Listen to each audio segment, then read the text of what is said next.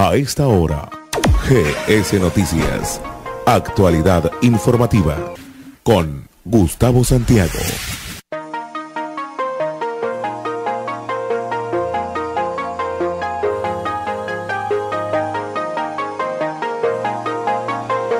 Seis de la mañana en punto, señoras y señores, tengan ustedes muy buen día. A partir de este momento les vamos a entregar las noticias más importantes con las que despierta Montería y el departamento de Córdoba en las últimas horas.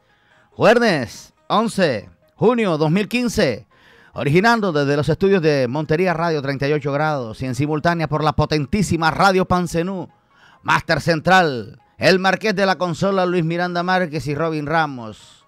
La compañía periodística de Humberto Negrete Peña, Barney Berrocal, aquí en la presentación y dirección de las noticias, quien les habla Gustavo Santiago. Bienvenidos a nuestra información. GS Noticias. Actualidad informativa. Escúchenos en Radio Pancenú con Gustavo Santiago. A detenernos los minutos que sean necesarios para decirle a todos los oyentes las mentiras del gobierno, especialmente sobre el tema Electricaribe y la forma como le ofrecen a la compañía española dividendos disfrazados para amparados en una supuesta reinversión, pretendan realizar en la costa caribe colombiana y darnos por la cabeza vía factura. Lo primero que hay que decir es que el gobierno nacional salió a defender el alza en las tarifas y el ministro salió en todos los medios nacionales que desconocen la verdadera realidad del departamento de Córdoba y de la costa caribe colombiana, que era mentira que se estuviesen realizando algún tipo de alza que eso no era como lo estaban eh, señalando los costeños, que iba a ser del 90 y pico por ciento. Es más, lo que va a aumentar es el 1%. Según el comunicado de Minas, dice, bajo el nuevo marco de comercialización expedido en enero, las distintas empresas prestadoras del servicio deben solicitar aprobación de nuevos cargos para la costa caribe. Los nuevos cargos entraron en vigencia en el mes de abril. Le respondo, no necesariamente Electricaribe es la única distribuidora comercializadora que ha solicitado cargos, oyeron. Hay comercializadoras que llevan en cola hace más de dos años y esta se la sacaron en dos meses. Una clara tendencia a favorecerla. Dice el ministro, en la costa caribe se reversó la decisión del mercado de usuarios acabando con una anomalía donde los barrios de escasos recursos tenían tarifas superiores a los de los barrios de mayores recursos. Falso. A la fecha, energía social sigue existiendo, prestando servicio y si usuarios de sus normales tendrán la misma tarifa de los del mercado de Electricaribe, no tiene sentido la existencia de energía social. Dice el ministro los usuarios con menor capacidad de pago recibieron una reducción en el costo de la prestación del servicio de los usuarios de los estratos 1 y 2. Prácticamente no tuvieron aumento y los estratos 3, 4, 5 y 6 sí tuvieron un incremento. Falso. Señor ministro Tomás González del Ministerio de Mina, todos los estratos, incluyendo del 1, el 1 le subió. Y si no, busquen las facturas. Yo no me lo estoy inventando. Usted, amigo oyente, busque la factura del mes de mayo. La que le tocó pagar a finales de mes o principios de esta. Búsquenla. Y busquen las que le facturaron en el mes de abril y empiecen a notar la diferencia. Fácil y sencillo. No tengo ni por qué pontificar. Revisen ustedes mismos, mis queridos oyentes. Lo recibo, dice el ministro. De acuerdo con lo anterior, el aumento promedio en las tarifas de energía para los más de 2 millones de usuarios de la costa fue del 1,1%, apenas el 1%, incluyendo usuarios no residenciales. Falso. Muestra la tabla que los componentes tarifarios desde enero más el aumento fue del 13%. Revísenlo. Revisen el denominado CU que les aparece ahí en la, eh, en el recibo, en el amarillito, el del dolor de cabeza, revísenlo.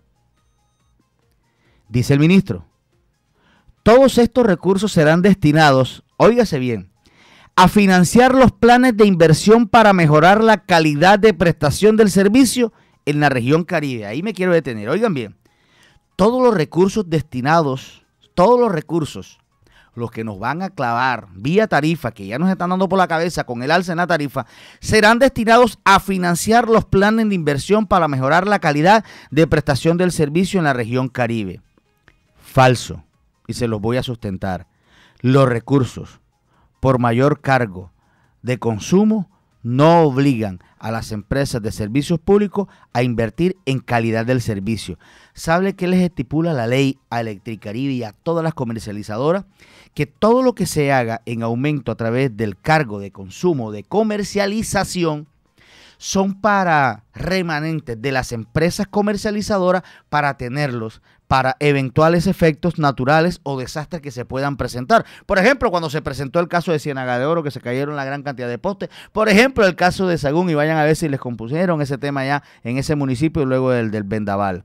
Esta información se referencia y la ratifica la congresista Sara Piedraíta León, quien al responderle al ministro sobre este caso específico, precisó sencillo, Gustavo, porque el alza en la tarifa se da básicamente por un aumento en el cargo de comercialización. Y estos recursos, como se refiere a comercialización, solo pueden ser utilizados para mejorar este aspecto del servicio. Quiere decir que en un caso eventual, estos recursos pueden usarse para aumentar el número de personas que atienden, eh, digamos, eh, una situación de daño en una red como la que se vivió en estos días. Entonces, señor ministro Tomás González, no le venga a meter el dedo en la boca a la gente, porque hay poquitos, pero que leemos y que medio entendemos de esta situación. Y esta es la simple lógica.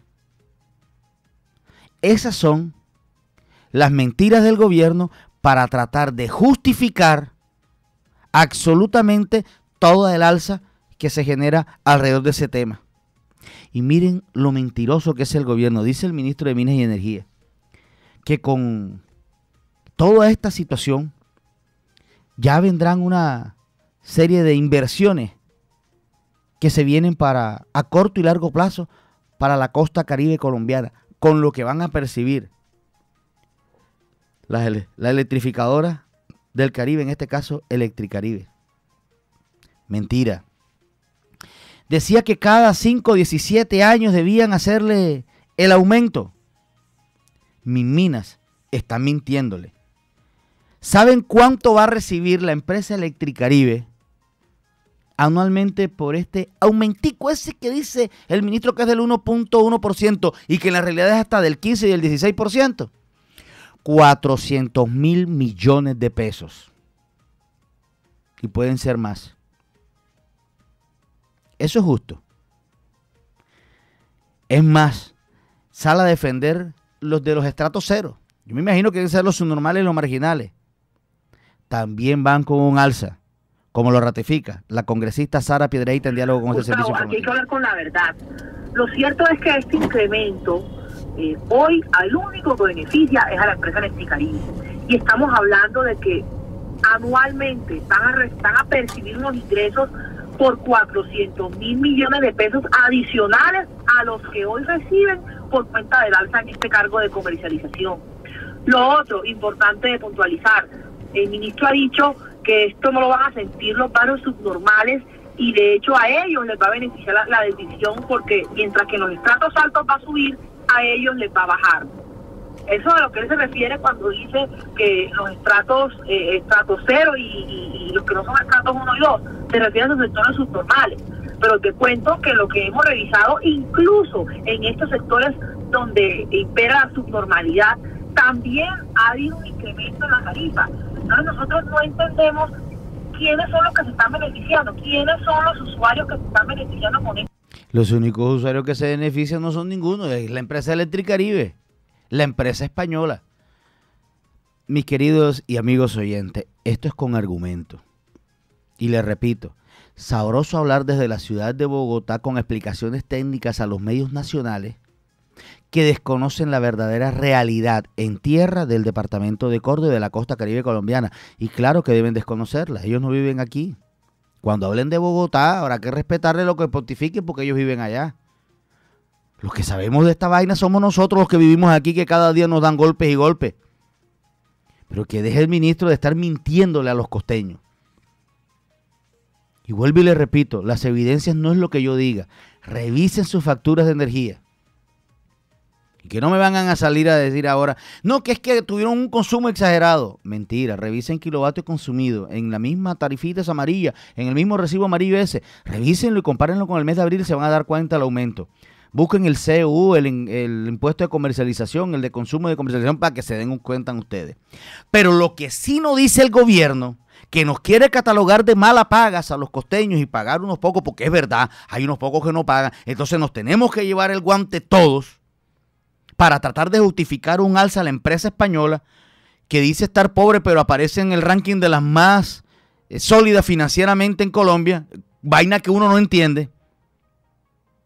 Lo que sí nos dice es cuánto nos robó la confesa empresa delincuencial. Eso tengo que decirlo con todo el argumento. La confesa empresa delincuencial, y no lo digo de una forma despectiva, lo digo por la confesión que hizo aquí en este servicio informativo el señor Eder Vuelvas, el coordinador, gerente, como se quiere denominar, de la empresa Electricaribe para Córdoba y Sucre, cuando aceptó que le estaban cobrando de más a los señores de la ciudad de Montería y del departamento de Córdoba por las denominadas viviendas gratis. Eso se llama confesión. Y le pregunté cuándo van a devolver la plata. No, nosotros no nos queremos quedar con nada. Si hay que devolverlo, devolvemos. ¿Y por qué no lo han devuelto? Confesa empresa criminal, delincuencial. ¿Es eso? Eso es una delincuencia. ¿O es que robarle a la gente es un acto de altruismo lo que hace la empresa española. ¿O es que Electricaribe tiene licencia para robarse a la gente, especialmente los costeños? Pareciera que sí, mano, porque ni la superintendencia ni el gobierno, ahí se olvidó el ministro de esa situación. Pero para decir que los costeños son mal pagados, como dijo la superintendente de servicios públicos, para justificar y desacreditar a los alcaldes de Bolívar cuando salieron a encadenarse, ahí sí. Pero tampoco dicen que Electricaribe les debe más de 20 mil millones de pesos a las, a las empresas de concesiones de alumbrado público. Como lo dijo el presidente de la Asociación Nacional de Alumbrado Público, William Arabia Valderrama, que denunció desde Cartagena que Electricaribe adeuda entre 15 y 20 mil millones de pesos a las concesiones de alumbrado público de la costa, producto del recaudo, del recaudo del impuesto. Eso sí no lo dice. Tomás González, Párale bola la vaina. Que en la costa no tragamos entero. Y no tragan entero porque el golpe lo está recibiendo plenamente en la tarifa. Por mucho show mediático que quieras hacer, vamos a hacer el plan de medio. Vamos a hacerle a los medios a desmentir que esa es mentira que le vamos a dar a la gente por la cabeza. Ahí están, reciben. Miren los recibos. Para que se den cuenta ustedes. Ese es un negocio sabroso. Y vuelvo y repito de una confesa empresa que hizo un acto ilegal y que no le devolvió la plata que se ha cogido, que le cobró de más a los costeños. ¿Por qué le alzamos las tarifas y por qué no salen ellos a devolver lo que cobraron de más? ¿Dónde están las sanciones de la superintendencia? Que ahora sí tiene dientes, oyeron. Tiene que sancionarla por el acto delincuencial y hacerla devolver el dinero. ¿O es que me van a decir que fue un error de procedimiento y administrativo para maquillar lo que le pasó a Electricaribe con la costa? Esperen hasta eso y mucho más, oyeron. Porque el gobierno es capaz de salir a taparle eso. Mire que de eso no han vuelto a hablar absolutamente nada. Pareciera ser algo calculado. Se armó el escándalo porque robaron o le cobraron más a la gente en la costa caribe colombiana todavía le siguen dando por la cabeza. Vamos a tirar ahora una bola de nieve aquí aumentando las tarifas y armamos la polémica por el otro lado para que se olvidan lo otro. Mira, ¿dónde está el billete? Yo escuché a José García, el españolete, desde la ciudad de Barranquilla diciendo, vamos a devolver la plata, hoy mismo hacemos el balance y enseguida vamos a devolver el billete. Pregunten si lo devolvió. Pregunten desde cuándo lo está cobrando. Ahí el gobierno no dice nada. Se llama inequidad, sinvergüenzura, masoquismo y patrocinador de una empresa confesa que comete actos ilegales y delincuenciales. Y me van a preguntar, mira, te van a demandar porque estás diciendo que son unos delincuentes. Perdón, cuando usted le roba algo a alguien sabiendo que no es suyo, ¿cómo se llama eso? Mierda. Robo, hurto. ¿Cómo le van a decir ellos? Un hurto no intencional. Un error de procedimiento. Si yo lo miro en la terminología costeña, esa vaina es un tumbe. Y de frente mar. Por eso es que me atrevo a decir que es una empresa confesa delincuencial. Que lo confesó aquí en estos micrófonos el gerente Electricaribe, Eder Vuelva, quien desde ese momento desapareció de la faz de estos micrófonos. Más nunca volvió a contestar. Claro, porque es que estoy preguntándole cuándo vas a devolver el billete que tú mismo dijiste aquí que no se querían quedar con nada que no fuera de ellos. Pero sí saben cobrárselo y guardárselo en el bolsillo. Para despachar esos capitales a la comunidad europea, donde tienen la concentración del cerebro de Unión Fenosa, empresa confesa delincuencial, en Córdoba. Pausa, ya regresamos con más información en GS Noticias. Amiga, acomódate otra vez, pero que te salga la manilla en la foto. Si estás al día en el servicio de gas natural, utiliza ya tu crédito aprobado, reclama la manilla brilla y concursa subiendo a tus redes sociales una foto con tu familia, amigos y los más necesitados. Etiqueta de Masa Brilla en la foto, dale me gusta y síguenos en nuestras páginas de Facebook y Twitter. Todos los viernes anunciaremos a los ganadores en www.surtigas.com.co. No olvides ponerte tu manilla durante todo el mes. Para mayor información, llama al 164.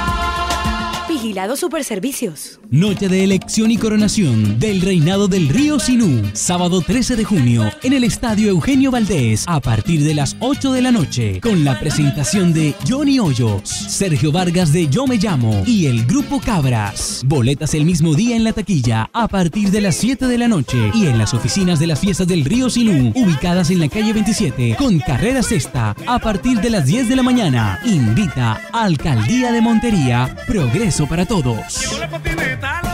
Caminar, compartir, jugar. Todo es posible en las noches gracias a ELEC SA. ELEC SA, empresa de servicio de alumbrado público. Llámanos 785-0038. Estamos en Montería, Cereté y Caucasia.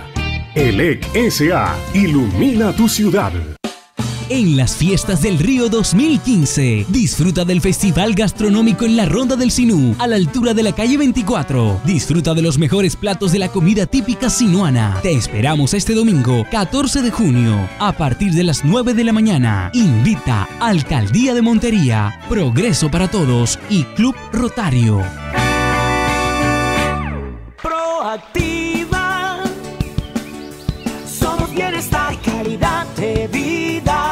Proactiva, Aguas de Montería. Ahora son las 6 de la mañana, 19 minutos. Oído, a consideración del Consejo de Montería fue dejado el proyecto mediante el cual el gobierno de la capital de Córdoba propone el plan maestro de estacionamiento en la ciudad y el establecimiento de tarifas.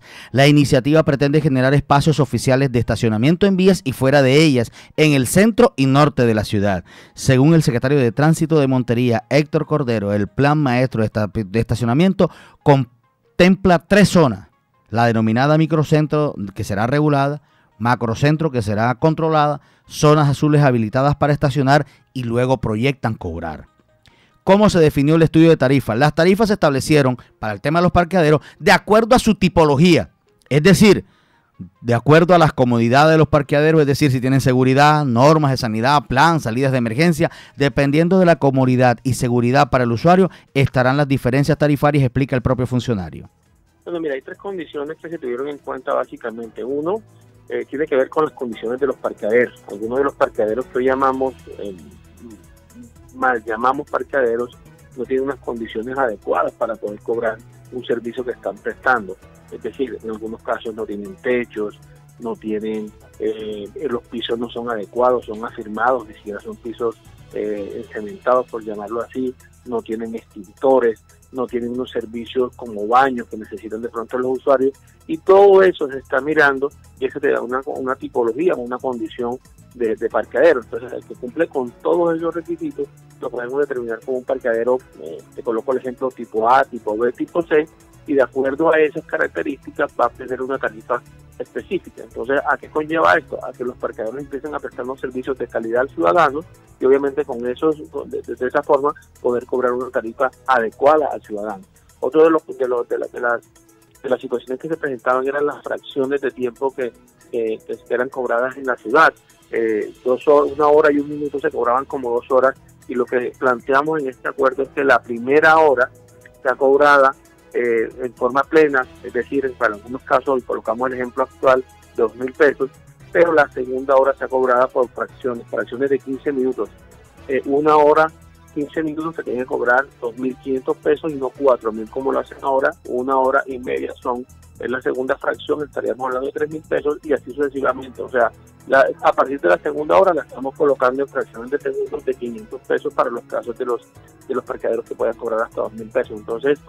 El balón está en manos del Consejo de la Ciudad de Montería que le toca realizar los correspondientes debates, hacer los ajustes y entonces establecer ya en definitiva las tarifas y cómo va a funcionar. Es una intención hasta interesante. Cobrar la primera hora pleno. Algunos creo que cobran son 2.000, 2.500 pesos. La segunda hora se cobra por, por fracción de cada 15 minutos, es decir, 2 horas 15 minutos, 2 horas 30 y no, porque hay gente que no, después de 2 horas 5 de una hora 5 minutos te cobran la otra hora. Y a partir de la segunda hora de parqueo, que se te facture por segundos. Esa es la intención del gobierno municipal. En el mismo proyecto fue ingresado, óigase bien, un proyecto que contempla desde este momento, en el momento en que sea aprobado por el Consejo y sancionado por el alcalde hasta el mes de diciembre, rebaja en intereses moratorios de las multas, parqueaderos, grúas de los vehículos que están inmovilizados y que tienen repleto los patios del tránsito de la ciudad de Montería. Héctor Fabio Cordero precisó. Primero en el tema de multas, en este momento la cartera de la Secretaría Municipal haciendo 82 mil millones de pesos, de los cuales eh, eh, estamos vamos a presentar también, estamos presentando en este momento un saneamiento contable ante el municipio para que quede una cartera definitiva, que sea realmente la cobrable o la va a cobrar. Digamos que esa cartera va a quedar en aproximadamente unos 50 mil millones de pesos, de los cuales aproximadamente eh, 20 mil corresponden a intereses moratorios que son los que estamos pidiendo que sean descontados para que los ciudadanos se acerquen a pagar y solucionen su problemática con los con, con el municipio y, y, puedan hacer pues los trámites que correspondan. Y la segunda tiene que ver con esos vehículos que están abandonados, que estamos haciendo un descuento, estamos solicitando hacer un descuento de hasta el 95%. Hay vehículos que a fecha están debiendo 9 millones de pesos por, por estacionamiento y que ya sabemos que son mucho más costoso el, el, el valor que debe pagar en el estacionamiento que lo que realmente cuesta que realmente cuesta el vehículo. Entonces, el funcionario de la Secretaría de Tránsito del municipio de Montería, Héctor Fabio Cordero. Ese proyecto me hace recordar al de hace cuatro años cuando estaba aspirando Carlos Eduardo Correa y que era alcalde Marcos Daniel Pineda García, que también lo presentaron a consideración del Consejo de la capital del departamento de Córdoba. Y será el Consejo de la Ciudad de Montería que seguramente tendrá que hacer todo el análisis del tema y, verificar. Ahora, ¿qué es benéfico para los que tienen multas? Sí. Quitarle esa gran cantidad de multas con el tema de la grúa, con el tema de la inmovilización, con el tema ese de, del parqueadero, que suma un billete bastante largo. Y oigan la cartera morosa que tiene la Secretaría de Tránsito del municipio de Montería. Noticias rápidas. El robo a la joyería El Oscar en el municipio de Cereté fue realizado por aproximadamente unos seis ladrones que salen de la joyería y fuera de ello esperan rápidamente sus compinches en motocicleta. Fue una situación rápida que quedó grabada en video y que además se está ofreciendo por parte de la empresa, eh, o mejor, de la Policía Nacional, 10 millones de pesos de recompensa por quienes entreguen información. Está rodando por las redes sociales el video Ojalá para identificarlos y denunciarlos ante la autoridad competente. Más allá de el atractivo de los 10 palos que les puede entregar la Policía Nacional, a ver si logramos bajar caso de fleteo que le corresponde a la Policía Metropolitana. También hay que señalar que un joven falleció y desapareció en aguas del río Sinú a la altura del municipio de Cereté. Su padre ha estado angustiado y le ha pedido a los organismos de socorro que no cesen la búsqueda de lo, del cuerpo de su hijo. Una situación bastante lamentable. Y para finalizar, un tema muy puntual. Ayer en la pregunta de CMI, en horas de la noche del noticiero de televisión que dirige Yamida Ma, preguntó, ¿está usted de acuerdo que Electricaribe venda sus acciones y se vaya de la región? El resultado, Joaceina no puede ser más contundente. Sí, 99%, no 1%.